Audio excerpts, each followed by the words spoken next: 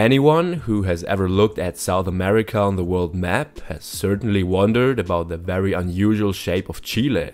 In its maximum width, the country measures only 117 kilometers, but in length over 4,200 kilometers. If Chile were located over Europe, it would stretch from the North Cape to Libya. It extends over a total of 38 degrees of latitude, which is why 6 of the world's 9 ecological zones are represented there. For example, in addition to ice-cold subpolar zones, it also has deserts where it has not rained for 400 years. And Chile is a pretty unusual country in other respects too. So today we're going to take a look at the exciting history of this country and ultimately fathom the question of why Chile has such a strange shape. About 10,000 years ago, people first came to the area that is now Chile. They lived mainly in the north, where they primarily farmed, but spread as far south as Patagonia, where the immigrants lived primarily by fishing.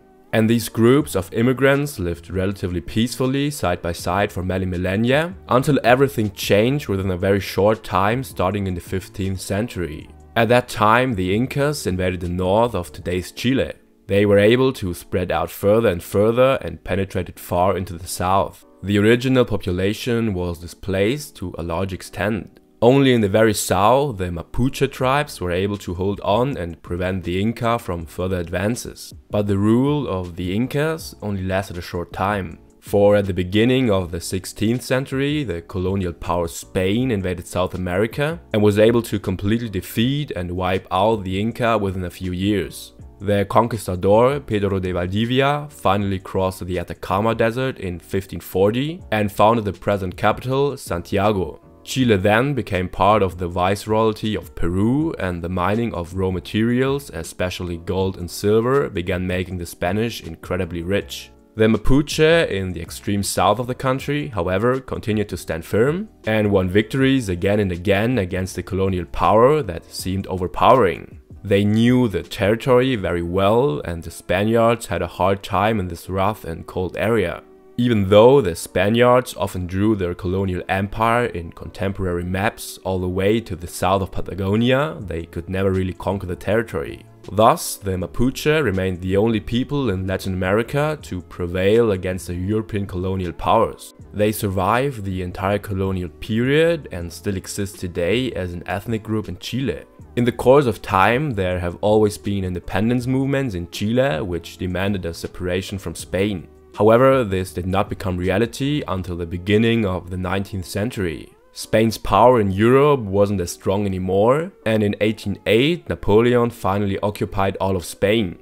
So many provinces of the Spanish colonial empire took advantage of the situation and established their own governments which advocated independence. And this was also the case in Chile. But a few years later, the Spanish king returned to the throne and wanted to take back all the renegade provinces by force. The Chileans, however, had organized themselves well in the meantime and even formed their own army of freedom fighters. There were several battles in which the Chileans were able to prevail. And even though the Spanish king sent more and more soldiers, he was also defeated in the decisive battle near the capital, Chile became a formally independent state in 1818. But at that time, Chile did not have the extraordinary dimensions it has today. It comprised only the middle third of today's landmass. It was not until the end of the 19th century that it was able to gain the land area it has today.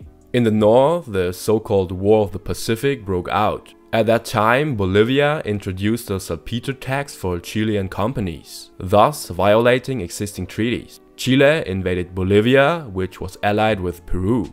But Chile was able to defeat both opponents and annexed large areas of both states in the subsequent peace treaty. Bolivia was thus completely cut off from the sea. And about the same time, the expansion to the south began. The Mapuche, who had defied both the Incas and the Spanish, were defeated. Argentina and Chile then divided the southern tip of South America between them. Thus, Chile grew incredibly in length, but never in width. The reason for this, however, is primarily a geographical barrier, the Andes. This mountain range, which runs through the entire country, represents an insurmountable hurdle in most places. On the one hand, this has prevented Chile from expanding eastward, But on the other hand, it has always represented a perfect natural defensive wall, making it very difficult to penetrate Chilean territory. So that was with the video, I hope you enjoyed it. If yes, I can recommend you my last video. Enjoy it and see you next time.